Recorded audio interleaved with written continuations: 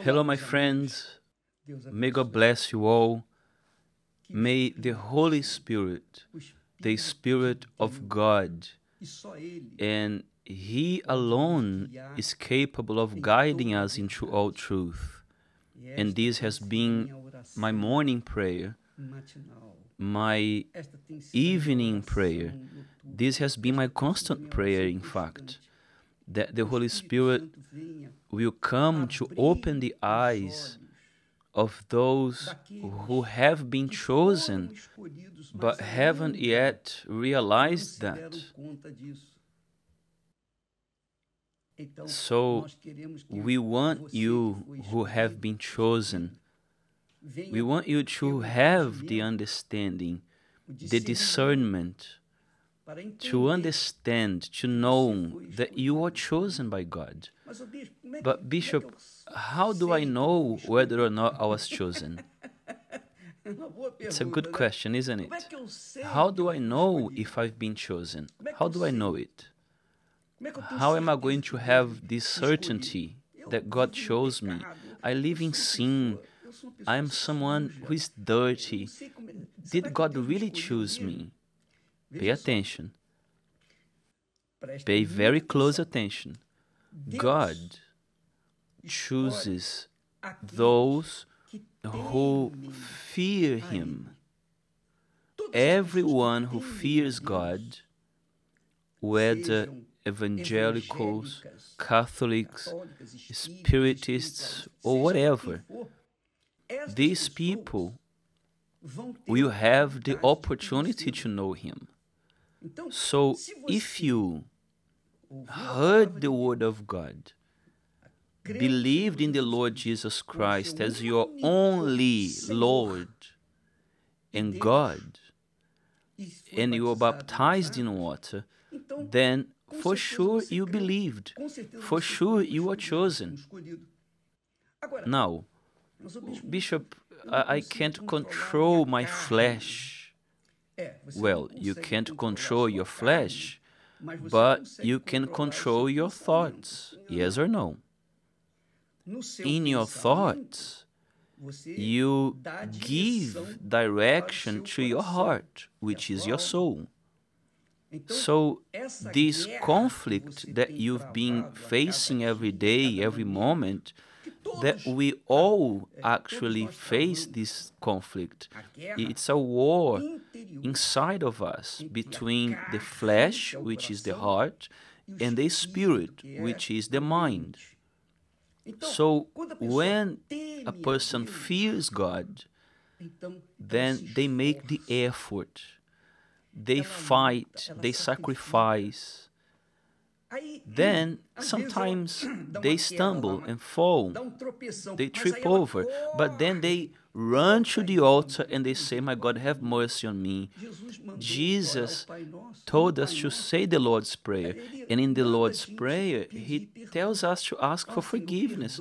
Lord, forgive our debts as we forgive our debtors.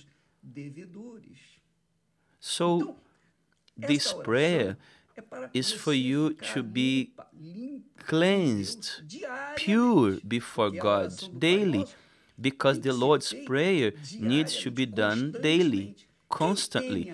Whoever fears God obviously follows the guidance of the Lord Jesus and they pray. They pray at home, they pray at work, in the train. They are constantly connected to God's thoughts wherever they are. So these are the people who fear the Lord and that was certainly chosen.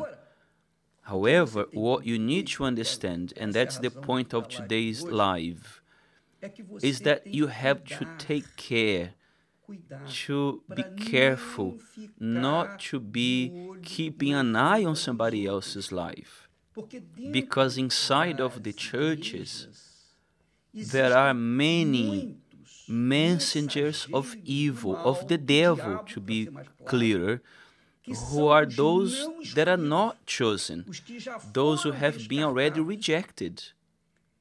be careful because they are inside of the churches to give a bad testimony, a horrible testimony concerning faith in Jesus, with the goal of contaminating those who are chosen.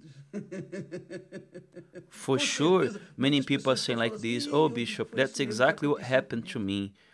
I, I, was looking at someone who was faithful in church, at least in my eyes. They were always there, assistant, pastor, bishop, whoever, pastor's wife. And all of a sudden, that person did something horrific. And that disappointed me so badly, that made me so frustrated that I ended up abandoning my faith. Well, so don't forget that anymore. The devil is cunning and he's always walking around looking to destroy those who have been elected, the elect ones, those who are chosen. He wants to make them fall. And if you are there paying attention to somebody else's mistakes, perhaps you are paying attention to someone who, who was not chosen, who is already condemned. And you are wasting your time. You are contaminating yourself with that person who is already condemned. Do you understand it, my friend? So that's why there are so many unchurched people out there. Why? Because they heard a bad report from Bishop Macedo that Bishop is this and that and the other but who said these things? Who said these things? Who are the ones spreading these rumors? Then you are going to see that that person doesn't have any credibility. They have no good fruit in, in their work, in their life. So, how will you give ears to someone who hasn't been chosen? My friend, I say this from my own experience. In the beginning of my faith, I would see and hear many bad testimonies of people who, in my eyes, were holy, but I found out that there was nothing of God in them. So, what did I do? Did I leave the church? No, not at all. I wasn't in the church because of those people, the pastor, the bishop, or whoever. I was in the church to seek to feed myself of the Word of God, and the food given there was good, really good. However, they were condemned, and what could I have done? I'm, i was not going to pay attention to people like this. I will give attention to the Word of God. And by the way, I repeat here, that if you see, if you hear myself saying anything that contradicts the Word of God, the Holy Scriptures, if you hear me saying, if any word comes out of my mouth that doesn't combine with the Word of God, that doesn't agree with the Word of God, that matches the Word of God, then don't listen to me. Don't listen to me. You have to listen to the Word of God.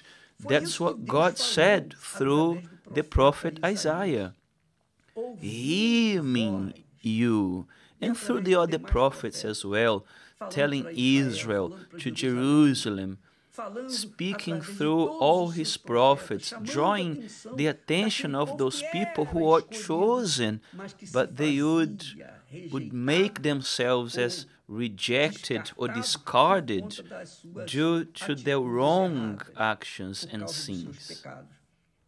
So Jesus, when he came into this world, he saw that.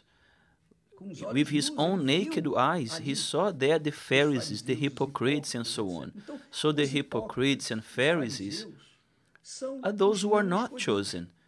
And the ones who are not chosen, we cannot listen to them. We turn our back and we keep in the faith in what God said. What God said. Let's have a look here at the text.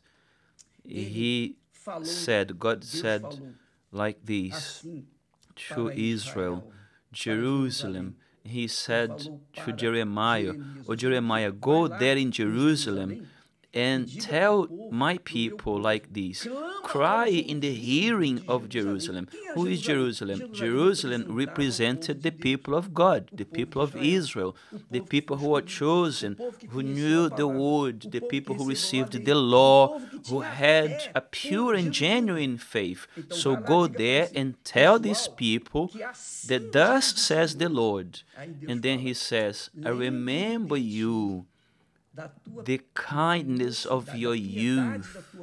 Look how God is sensitive. Look how God has feelings, pure feelings towards human beings. Go and cry in the hearing of Jerusalem, saying, Thus says the Lord, I remember you. I remember you when you went after me in the wilderness. How nice, isn't it? This is tremendous. When you went after me in the wilderness, in a land not sown, a, dry land, a difficult land. Very well, you were faithful, loyal, you'd go after me, you'd follow me like a, a bride follows the groom. However, these people turn their back on me.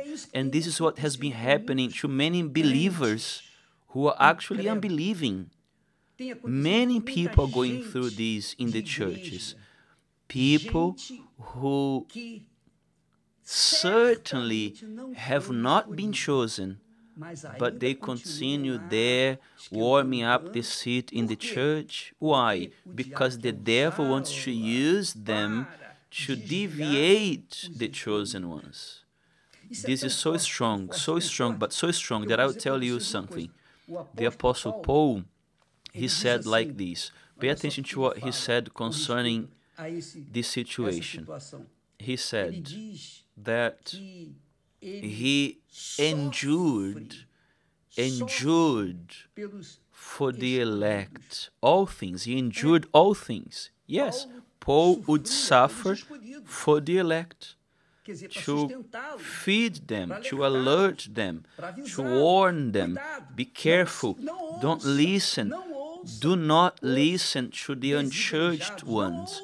Don't listen to the unbelievers.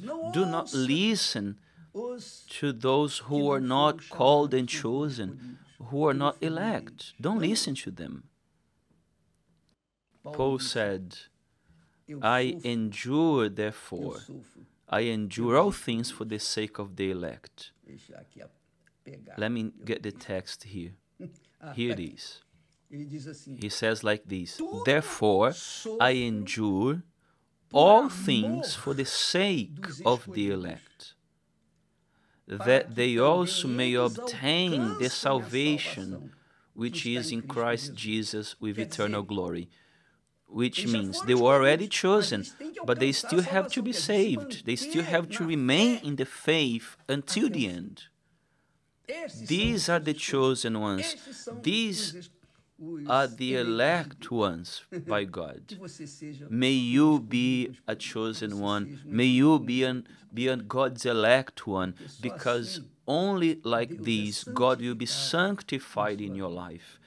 God is not sanctified in the lives of those who are despised, those who are discarded, those who didn't fear Him, those who are not sincere in their faith, those who are not pure, those who didn't have character, the character of the Lord Jesus in their life. These are discarded because this is very nice. Do you know why I'm laughing? Because I can remember now that you know that the father before in the days of old the father would choose the bride for his sons. Do you remember that abraham sent his servant to seek a bride for his son isaac? Very well. Back then that's how it was. The parents or the father specifically would choose the bride for his son and that's what the eternal Father, the Godfather, does with regards to his son Jesus. The bride is the church.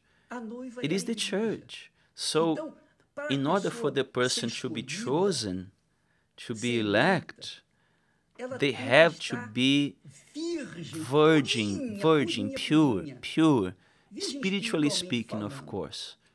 Because then they have to be washed, purified in the blood of the Lord Jesus. So when they are washed, purified, baptized in the Holy Spirit, then this person who was chosen by God, was elect by God, is then inserted in the church of the Lord Jesus, which is not an institution, it is a spiritual church. Whose head is the Lord Jesus Himself, and the body the members of this body, the cells of this body, are those who are washed in the blood of the Lord Jesus. Therefore, my friend, if you have been chosen, you can be certain that it was so that you would be able to meet with the groom who will soon be coming back. Very soon, he's at the door. The news all over the world is screaming, shouting, the trumpets are being blown. Oh, listen, he's coming back. God allows all this disgrace that is happening all over the world in order for us to have ears to hear his voice, his word. But who has ears to hear his voice? The chosen ones. But who are the chosen ones, Bishop? I don't know. I just know one thing that when a person is chosen, or when they make themselves chosen, they face hell but they remain firm on the rock, which is Jesus. And come what may, the rain, the storm, the rivers may come against them strongly, the wind, but nothing shakes that house because it was built upon the rock, which is our Lord Jesus Christ. And this is faith. And if you want to know more about this marriage, this wonderful marriage, where the Father Himself chooses the bride for his son Jesus, then tonight in the love therapy, Cristiane and Renato are going to be here in the Temple of Solomon, and the other pastors and bishops will be in their respective churches as well, okay? May God bless you all, and I'll see you tomorrow.